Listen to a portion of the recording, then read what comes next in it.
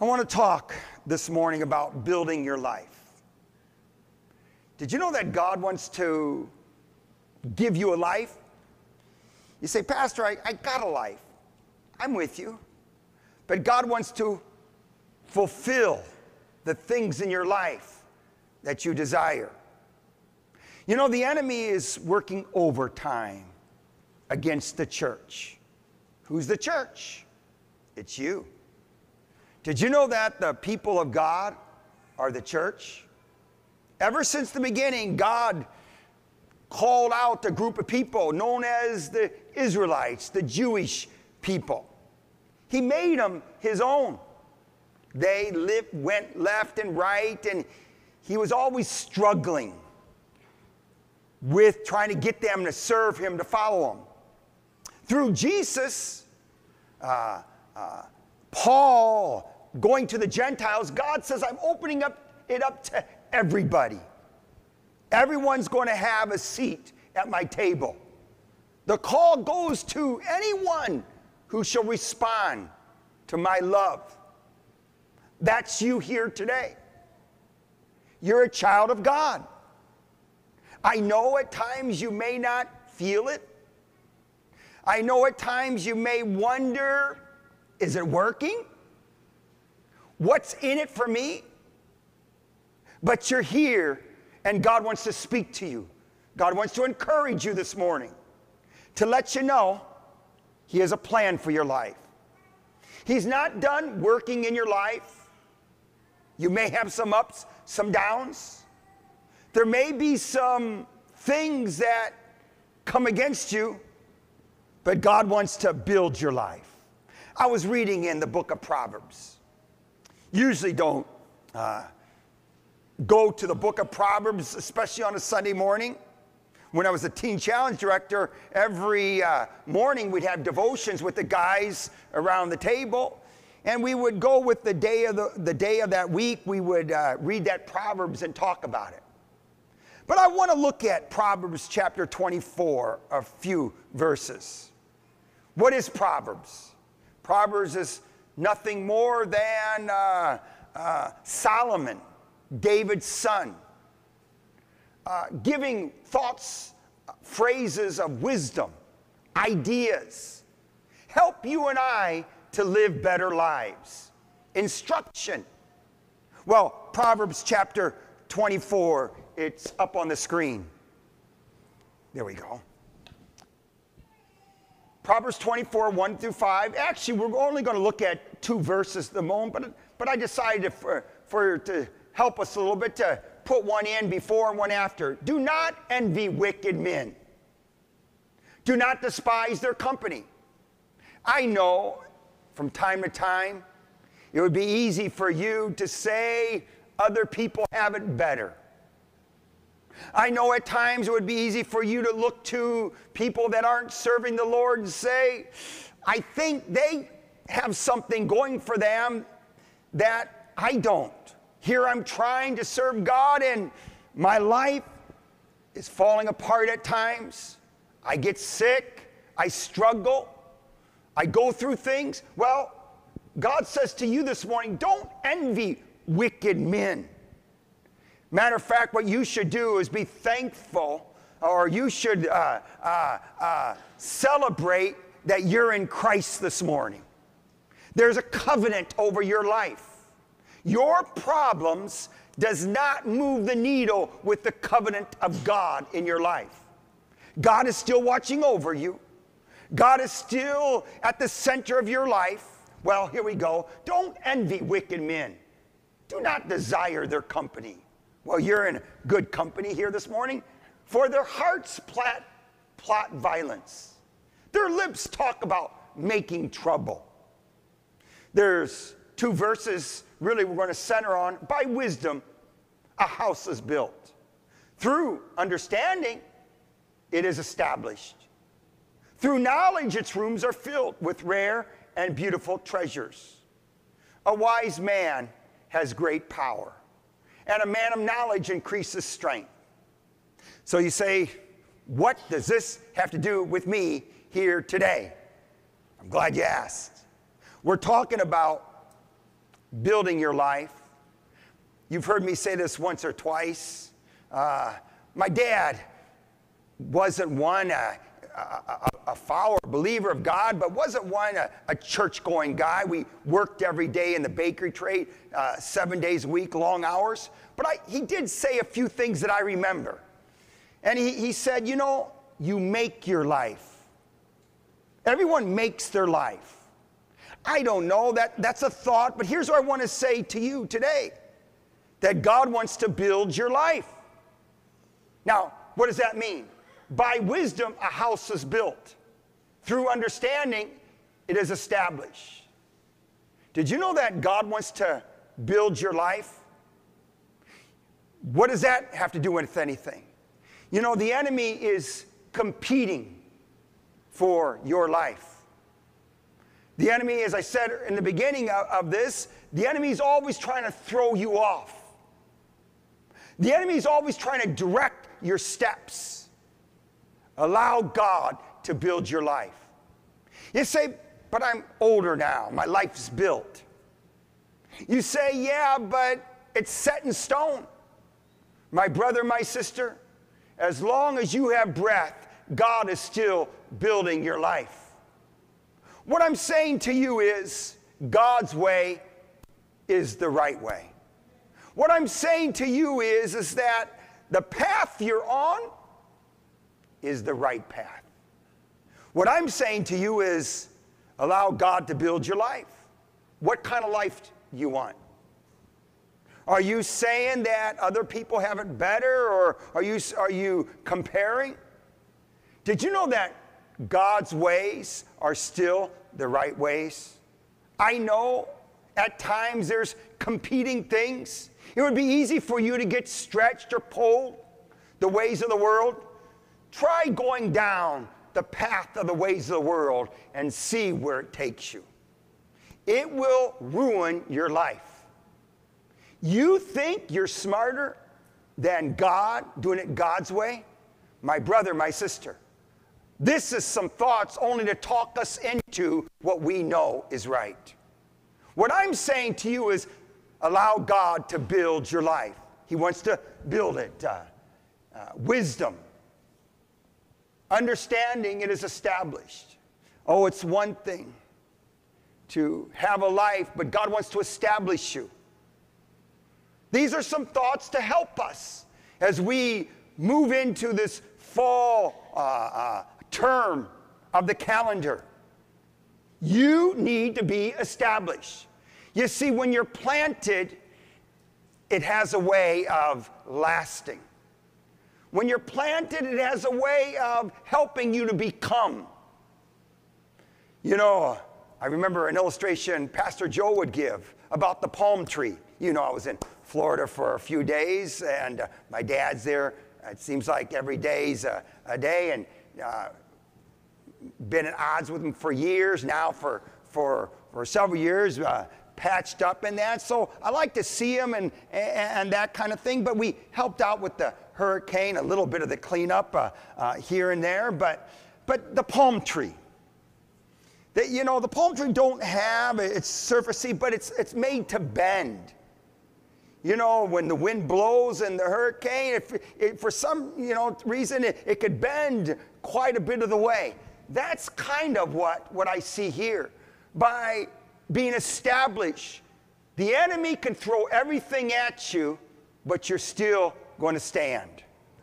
What I'm saying, my brother, my sister, is allow God to establish your life.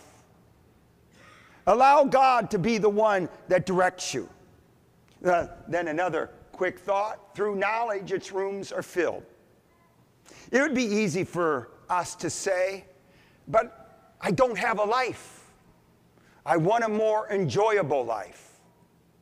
I want something with more contentment, so I find it in different directions. I find myself going different places. Here, here, through knowledge, its rooms are filled with rare and beautiful. Did you know that God can fill your life?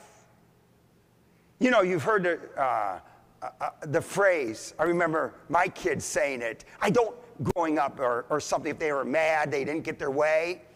I don't have a life. Listen, God can give you the life you want and need. It says here, through knowledge, its rooms are filled. Meaning, contentment, purpose. God is the one that needs to be the one that directs you and fills your life. All I'm saying, these are some thoughts to you about building our life. God wants to build your life. God wants to give you the things that you need. Why talk about something like this? Once again, because the enemy is competing for you. The enemy is trying to throw you off. The, the enemy is doing everything he can to discourage you from following God. The enemy is, is trying to talk you into righteous living is not appealing. That it's maybe, maybe I just ought to throw it to the wind. Many people have done it and they've regretted it. You think you have problems now? Try living your life without God. It will be that much more troubling. In this life, you're going to have trouble.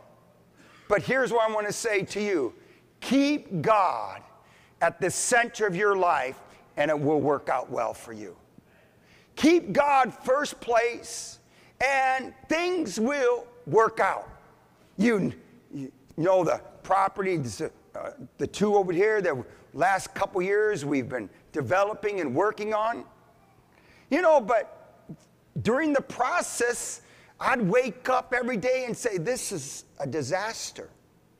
All the oil, all the problems, and this is, this is, I don't know if this is going to work. Here's what I want to say your life, the same way. You got to wake up every day and, and put God first, and He's going to help you to develop the life that you're looking for.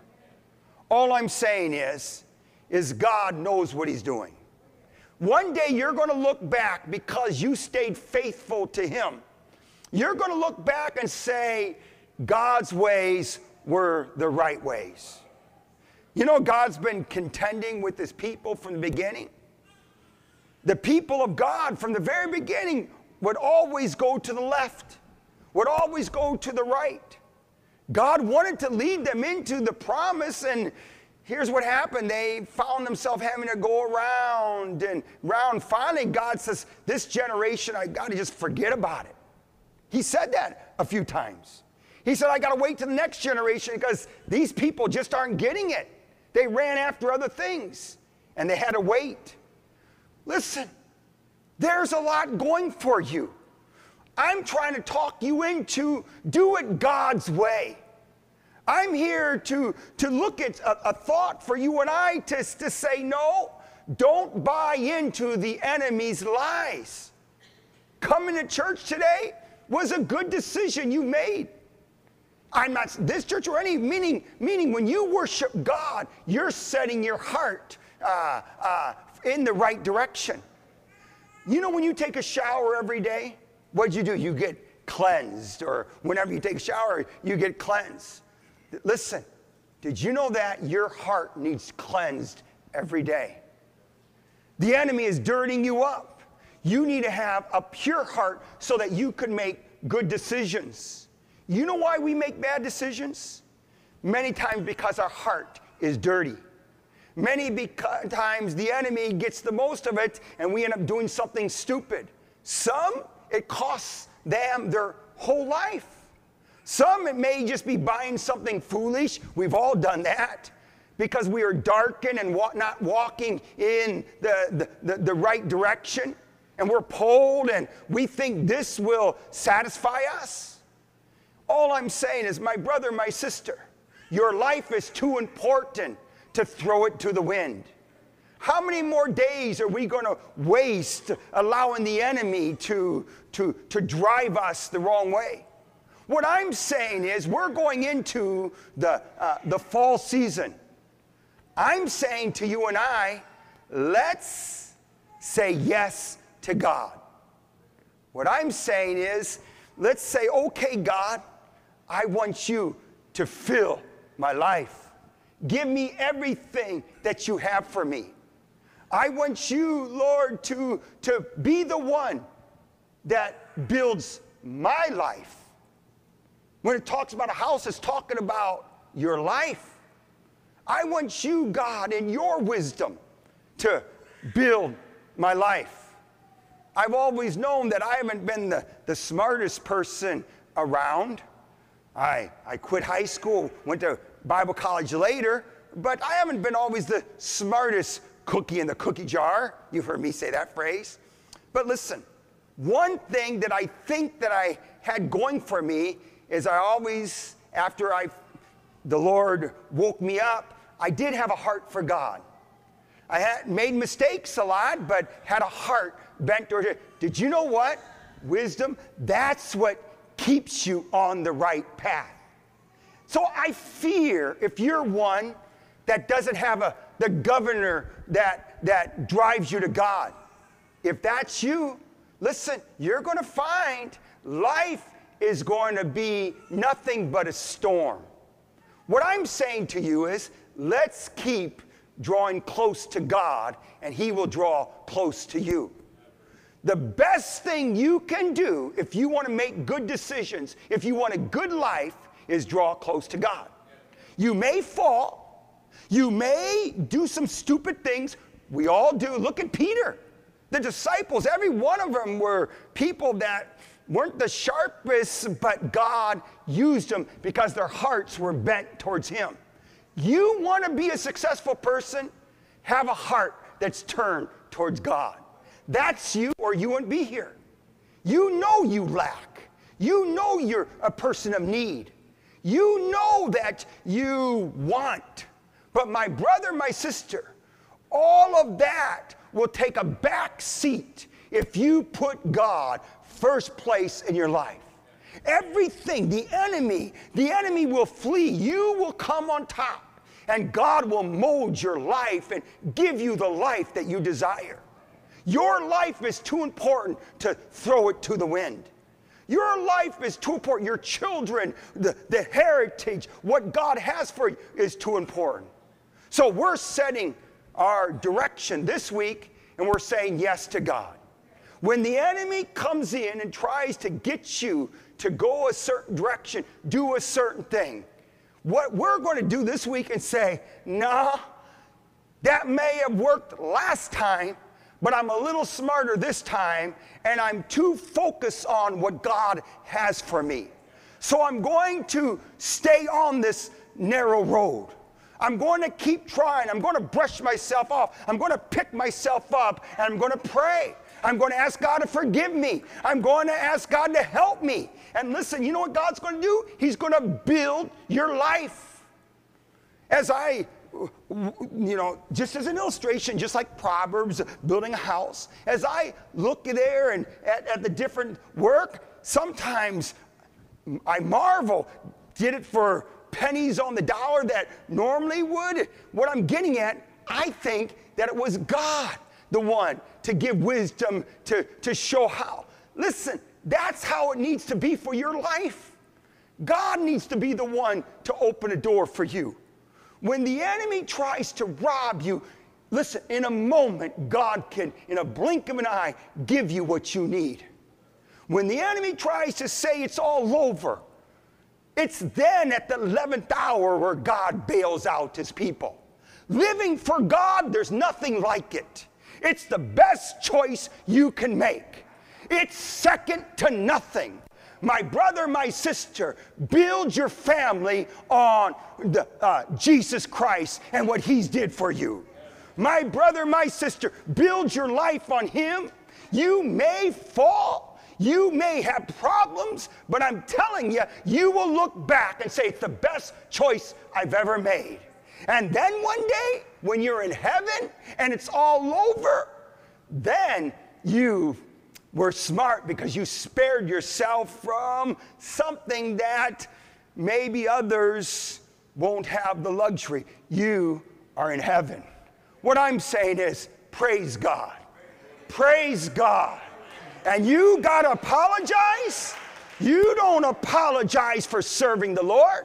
You don't apologize for being a child of God. You say, hey, I may not be what I uh, want to be completely, but I'm glad that He brought me a little farther and I'm moving towards Christ Jesus. My brother, my sister, I listen, you're, you're in the right shoes, meaning God's with you, God's working in your life. It's going to work out. You got to hold on sometimes. You got to trust in the Lord sometimes. You got to say, Yes, Lord, sometimes. Let's say, Yes, Lord, this week. Let's say, Yes, Lord, this week. You say, Okay, yes, Lord. No, no, no, not. I'm not going to go there. Yes, Lord, I'm going to do what you want me to do. Listen, a person that does that is a person, knowledge. Oh, think of that in yourself wisdom, understanding, knowledge. Understanding? Understanding is deep, deep. Back when I used to uh, prepare sermons a little better than I, I did, sometimes I would sit for four or five hours just to thinking about a verse, understanding, deep thinking. Now I don't take as much time doing some work. Hopefully I could get back to some of that. But listen, understanding. If you have understanding, the winds will blow, everything will come against you, and you'll still stand because there's roots. There's something that's built. It's bigger than what the world has to offer. Knowledge? Here's what this says, and I am done. A wise man has great power. You want to be a great person? Some of us in this, you know, some of us are competitive and we want God to do some good things in our life. All right, that's all right. Solomon was a great person, but you know how you get it? A wise man has great power. You try to do it another way of that, you're going to fall on your face. You try to get, you know, you tried to be great in the ways of, I'm telling you, it's not going to work. You know how you become a great person? Following Christ Jesus. Listen, and I am done. My life, I was an ex drug addict or this or really not that. You know, I, I turned it around. All I'm saying is, you know what made me great? And I'm not saying I'm so great, I'm just trying to put it there. You know what? It's Jesus in me alone. That's the facts. I'm telling you, you're on the right path and you better you better build on it and, and god's going to take you places that you never dreamed were possible are you with me? Amen.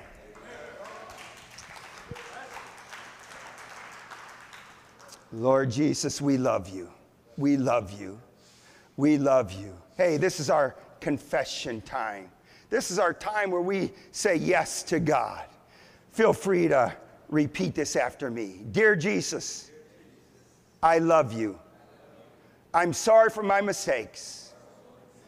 Come into my life I make you my Lord and Savior. Jesus, I need you. I love you. I thank you for my life in Jesus' name. Amen. Amen. Now, Father, bless your people. Some, some this week need a miracle.